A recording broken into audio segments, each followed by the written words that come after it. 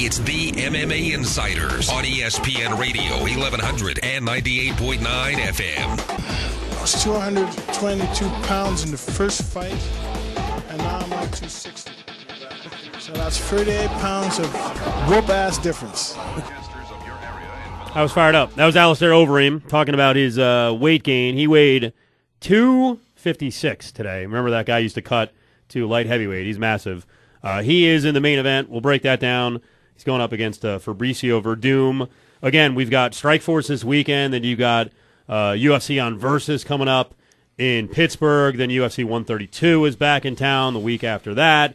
Uh, we'll be out at a PT's. We'll tell you what location this coming week, and you can watch all the UFC pay per views at PT's. There's uh, four different spots that show them Buffalo and 215, Sunset and Pecos, Stewart and Nellis, and Spring Mountain and Arville. Kevin Iole's here from Yahoo. Matt Mitrione is in studio with us. Rising heavyweight prospect. You guys were just talking off the air about the growth from TUF. And you had some interesting stuff, Matt, to say about how quickly guys can go from kind of looking like so so on the show in that controlled atmosphere, but the fact that you get to work with unreal trainers, your your leap forward can be amazing. Absolutely. I think that's one of the things that, uh, um, you know, I, I- think that's why I think that TUF has been such a good breeding ground for, for talent. Um, it's because once you get off, like you, you're kind of shown, okay, this is how you can really train. This is like, and you learn a couple secrets, you know, about, hey, this is what other people do that are highly successful and this is why they're so successful.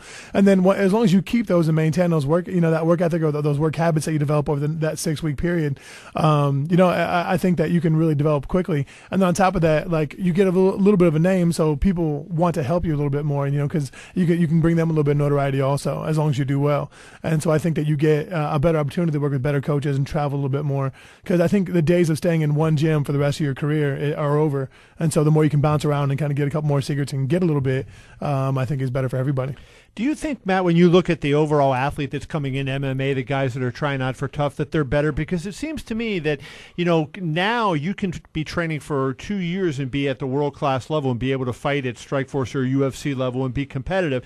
Whereas, you know, maybe three, four years ago, you know, you there was no chance of that. You know, you were on the smaller shows and it took a lot longer. So it seems to me maybe the one, uh, you know, X factor is that the quality of athletes coming into the sport is better.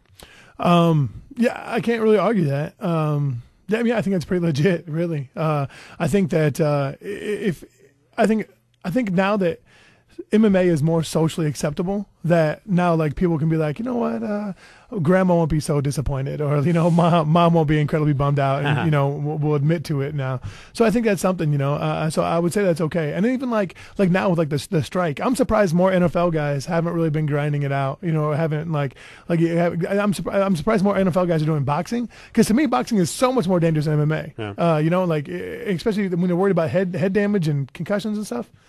I mean, kind of surprises me. You've been in town working with Xtreme Couture, which is an interesting choice because they're not. It's not really like a heavyweight laden camp. So, what have you? Who you been working with, and what kind of improvements? Well, I came out here uh, primarily to work with Coach Neil Melanson, uh, one of the best catch wrestlers in the world, uh, and giant body. Who, by the way, is a heavyweight. yeah, He's a huge dude. He Yeah. is, he is a big boy. Yeah, most definitely. Um, so I, I came out here to work with him uh, and really started working on my uh, my, my wrestling slash submission game. Uh, I wanted to get away from jiu-jitsu. So, uh, but I was fortunate. There's uh, Mo Jackson, a six foot eight guy, so he really helped me prepare for uh, uh, for Christian uh, Christian Morecraft guy I'm fighting. Uh, but then Sean McCorkle came out uh, for me. Another guy from home came out to help me out. Uh, Anthony Gomez, and then um, Todd Duffy came through. And then there's uh, actually there's probably like six legit heavyweights out there right. that weigh anywhere from 245 to 280. I mean, they're at, at, Couture. So, so we are scrapping quite a bit, man. So, how's it wrestling now? Uh, I, I feel like I'm. I feel like I'm, I'm doing pretty well. I really wanted to work on my offensive wrestling, um, and I get to my feet relatively well when I when I really want to, uh, as long as I don't think about submissions all the time. And uh, I feel like my takedowns are really starting to come along. So I'm ready. I'm ready to scrap. I'm ready to show uh, the new wrinkle in my game if it gets to that point. Morecraft is massive. Yeah, we he's a can- big we. We're going to see you shooting doubles on Christian Morecraft. I can see me punching him in his face, and then if uh, if I want to take it to the ground, you, you, uh, you might see that. But um, you know, if he wants to trade off with me, I don't know if he'll be able to get me down. But if he wants to trade off with me, we'll we'll, we'll dance a pretty dance. All right, we got some massive guys on this card, so rapid fire. We got like four minutes. Matt Mitrione's in studio with us. It's uh, the MMA Insiders. We take it from six to seven every Friday. Kevin Iole's here with us as well. All right, well, let's go through the fights. We'll go uh, main event first. Overeem, 256. Werdum, Werdum's actually a lot bigger guy than people give him credit for. He's 6'5". He weighed in at 246. Is he big enough though? Because he has to grapple. He's not going to stand the entire time and beat Werdum. Is he big enough to get Overeem in his clutch and get him to the ground?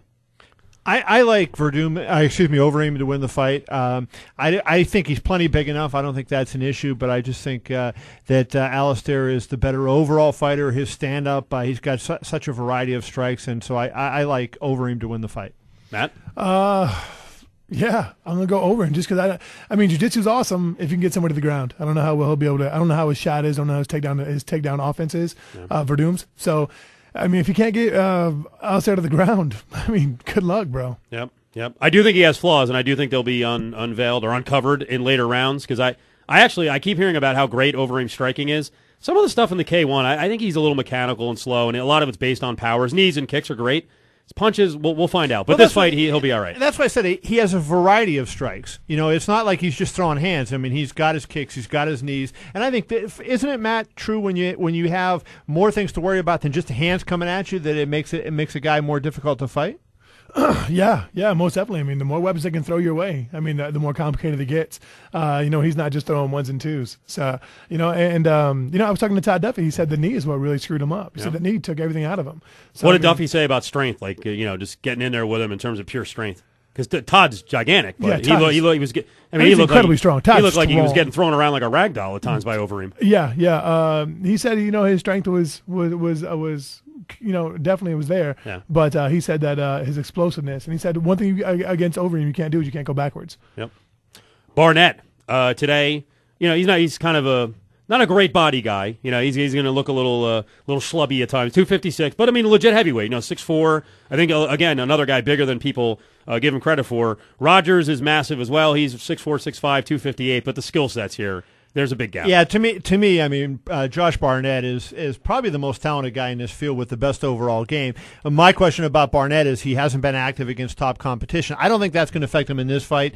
I think he's far better than uh, Brett Rogers, and I don't think Brett Rogers really has much uh, other than a you know big overhand right that, that would scare uh, uh, Josh Barnett. But so I, I- think Barnett wins. The question is going forward whether that lack of activity against top contenders is going to hurt him. I say Barnett will win by submission.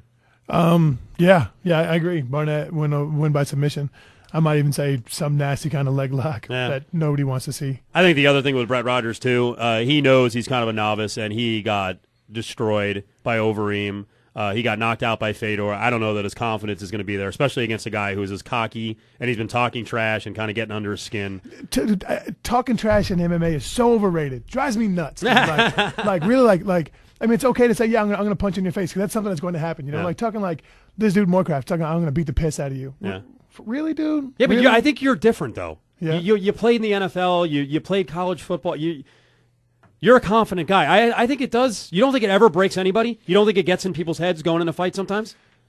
Uh, well, I, I know it does. I mean, obviously, uh, there's been a lot of fights where it does do that, I guess. Okay. But like for me, it's more like, come on, f- Right. figure it out. You're, you're a professional here. You don't go to the office to, to, to the water tub and talk shit, talk trash about whoever.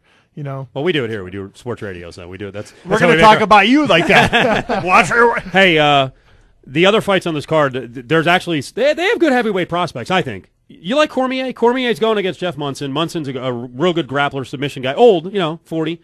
I, I. I like Cormier. I think he's got obviously a great wrestler. I think he's got some uh, good skills. I want to see the striking come up. Yep. See, see, you know him be more than a one-dimensional guy. I haven't seen that yet, but I think uh, you know he's got the talent uh, to become a factor. I think DC spent a lot of time on his striking, so I, I, I look forward to it. I think it'll be a good fight. Um, you know, Monson can his top control is suffocating, you know, and it can he can make for a very long fight. Uh, but I think DC, I think it'll be a great fight. I think the wrestling will really kind of match out, but uh, I think DC probably takes it. Overeem's brother, who's smaller, he's two thirty five. He's going against Chad Griggs. You like Griggs? You like Chad Griggs as a prospect? I mean, when I first saw him, I didn't like him, but you know what? The guy keeps winning, so uh, you know you got to give him credit. I, I think I'll go with uh, Overeem's brother here, but I, I don't think it's going to be an easy fight for uh, for Valentine. and who do we'll close in the about thirty seconds here. Who do you think's going to win this tournament? Uh, Barnett, Yeah. I think Barnett's my guy. I, I go with Overeem. All right. I think I might go Silva. I'm really, I'm really all over Antonio Silva. I think he's the uh, the sleeper. By the way, other good fights on this card: uh, Masvidal and Noons. I'm a big Noons fan. Not a great wrestler, but really good boxing. And then uh, watch for uh, JZ Cavalcante. He's kind of he's kind of on the comeback trail. Kind of disappeared a little bit, not active, but he's got that's going to be a good fight too against Justin Wilcox. And you didn't ask me, and I know we only have a couple seconds left. Who do I like in uh, Pittsburgh to win the uh, Mitrione uh, uh, Morecraft fight? You love Morecraft, I know you do. You're not going to say it in his face. Though. I've been I've been all over Morecraft since day one. I want I want you to pull a Marcus Jones, walk right over to Matt, and get in his face. That is one of the best TV moments I've ever seen because any guy in a bar who had someone standing right in his face, that was brilliant. When Matt's just he's turned to the side like whatever, dude. Yeah, That takes some stones. I get paid to fight. There you go. That's what he said on the show. Thanks to Matt Mitrione. Thanks to uh, Scott Coker. For Kevin, I'm Steve. For Reynolds as well. Thanks, Matt. We appreciate it. Great stuff, Matt. Thank you.